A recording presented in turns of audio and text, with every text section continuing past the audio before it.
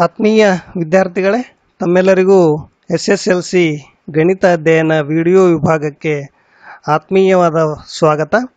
ವಿದ್ಯಾರ್ಥಿಗಳೇ, ನಾವಿಂದು ತ್ರಿಭುಜಗಳು ಅಧ್ಯಾಯದಿಂದ ಇನ್ನೊಂದು ಪ್ರಮೇಯವನ್ನು ತಿಳಿದುಕೊಳ್ಳೋಣ. ಬನ್ನಿ, ಯಾವುದು ಅಂತ ಪ್ರಮೇಯ ನೋಡಿ.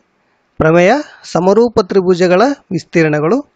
ಈ ಪ್ರಮೇಯದ ಬಗ್ಗೆ ನಾವು ಚರ್ಚೆ ಮಾಡೋಣ ಮತ್ತು ಈ ಪ್ರಮೇಯವನ್ನು ಈ ವಿಡಿಯೋದಲ್ಲಿ ಹೇಗೆ ಬಿಡಿಸುವುದಂತ ನೋಡೋಣ. ಬನ್ನಿ ಮೊದಲನೇದಾಗಿ ಹೇಳಿಕೆನ ಗಮನಿಸಿ.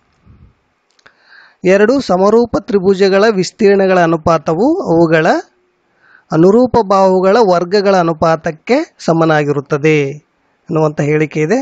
ಇದನ್ನು ನಾವು ಹೇಗೆ ಸಾಧಿಸಬೇಕು ಅಂತ ನೋಡಿ.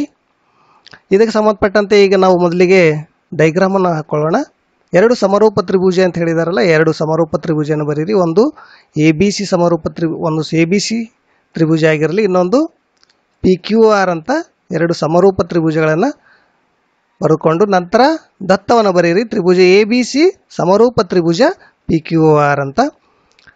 ನೆಕ್ಸ್ಟ್ ಅಂತ ಸಾಧನೀಯ. ಸಾಧನೆ ಏನು ಹೇಳಿದ್ದಾರೆ ನೋಡಿ?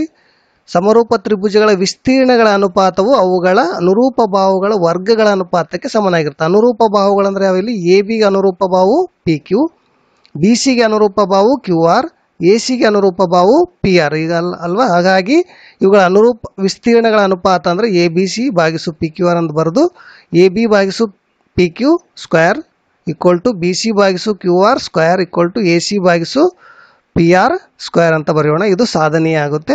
ಈಗ ರಚನೆಯನ್ನು ಮಾಡೋಣ. ಕೆಲವು ರಚನೆ ಮಾಡೋಣ. ಇಲ್ಲಿ ಬಿ ಸಿಗೆ ಒಂದು ಲಂಬವನ್ನು ಎಳೆಯಿರಿ. ಅದು ಎ ಎಂ ಅಥವಾ ಎತ್ತರ ಆಗಿರಲಿ ಅದು. ಈಗ ಕ್ಯೂ ಆರ್ ಬಾಹುಗೆ ಬಾಹುವಿಗೆ ಒಂದು ಪಿ ಎನ್ ಎತ್ತರವನ್ನು ಹೇಳೋಣ. ಇದನ್ನು ರಚನೆಯಲ್ಲಿ ಬರೀರಿ. ತ್ರಿಭುಜ ಎ ಬಿ ಸಿ ಎತ್ತರ ಎ ಎಂ ಮತ್ತು ತ್ರಿಭುಜ ಪಿ ಕ್ಯೂ ಆರ್ನ ಎತ್ತರ ಪಿ ಎನ್ಗಳನ್ನು ಎಳೆಯಿರಿ ಅಂತ. ಈಗ ಮುಖ್ಯವಾದಂಥ ಸಾಧನೆ. ಸಾಧನೆಯನ್ನು ಹೇಗೆ ಮಾಡಬೇಕು ನೋಡಿ.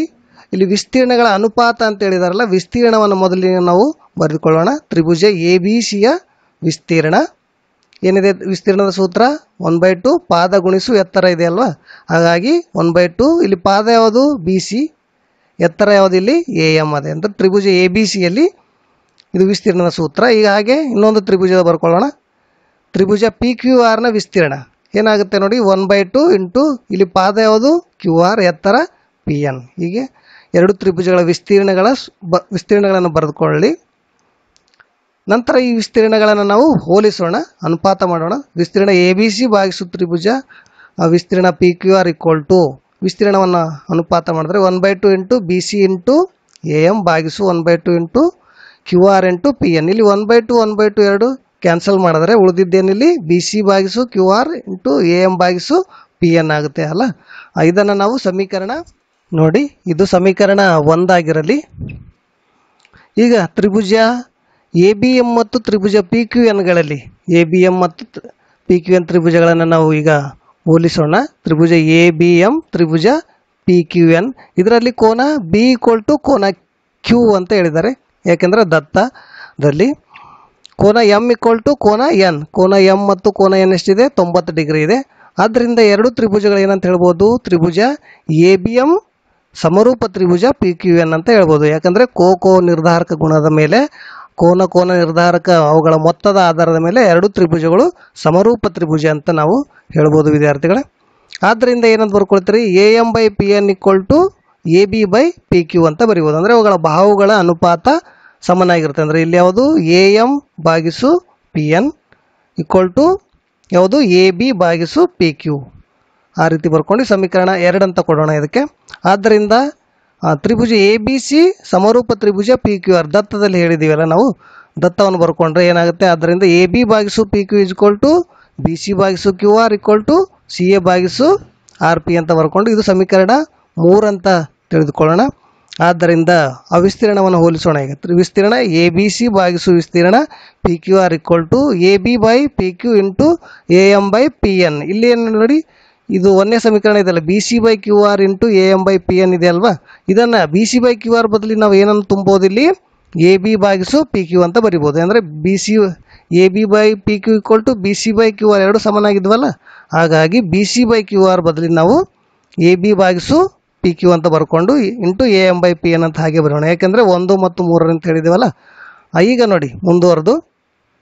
ಈಗ A B by P Q into A M by P N ಇದೆಲ್ಲ ಈಗ A M by P N ಅಂದರೆ ನಾವು ಸಮೀಕರಣ ಎರಡರಲ್ಲಿ ಸಾಧಿಸಿದ್ದೇವಲ್ಲ. A M by P N ಎದಕ್ಕೆ ಸಮನಾಗಿದೆ? ಎ ಬಿ ಬಾಗಿಸು ಪಿ ಕ್ಯೂಗೆ ಸಮನಾಗಿದೆ. ಹಾಗಾಗಿ A M by P N ಸ್ಥಳದಲ್ಲಿ ನಾವೇನು ಬರೆಯೋಣ?